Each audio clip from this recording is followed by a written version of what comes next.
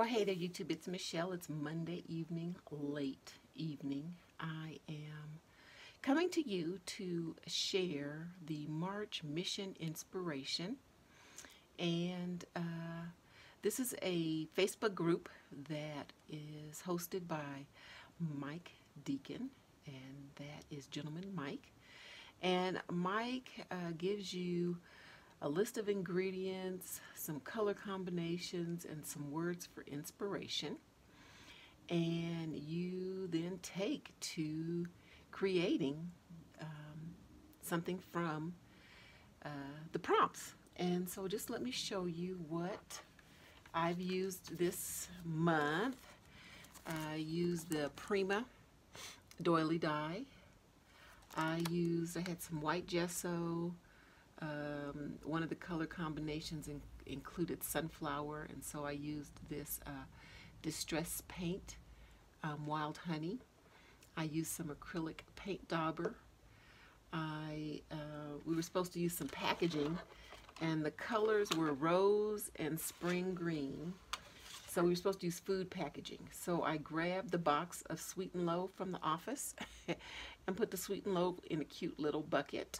and then um, I had this um, Kit Kat that I got while I was in Tokyo, and that green just um, jumped out at me. Now, uh, this month's color combination was quite challenging for me.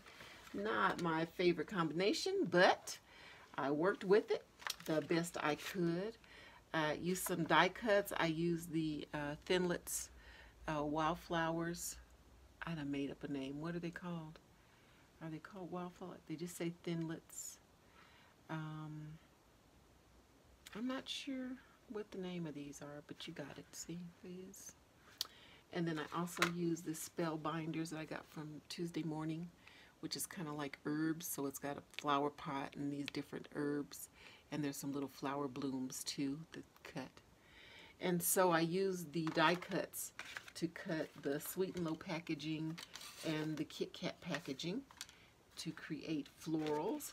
And then um, girlfriend Cynthia Martin Designs, I love her. She and her die cuts.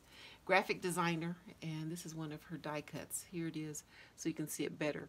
But one of the prompts was to use uh, burlap or fibers, so I cut the die cut out of some uh, woven fabric to use. So let me show you without further ado, my March mission inspiration, which I am calling My Time to Bloom. And uh, one of the things, one of the prompts was that you had to, you can see the, the doily.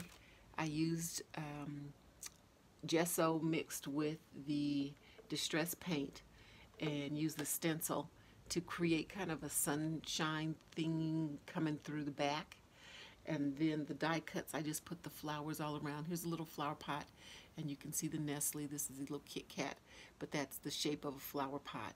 And then you've got the flowers just blooming all over. And there's the lady in the center. And another one of the things that they had you do was you're supposed to stamp in white paint. So I used some of my acrylic paint um, on, um, let me show you, just my rubber stamp here. And that white paint isn't from this time. It was from another time where I let it, I didn't wash it off right away. And it's so funny because when Mike does his tutorial today or his share, his process share, he says, you know, don't let the white paint uh, stay on because it'll stain the rubber. Well, uh, about a year and a half too late for that or two years too late for that. But anyway, there's my March mission inspiration. So let's run through them all. January's was Memento. February was And Still I Rise. And now we have March, My Time to Bloom.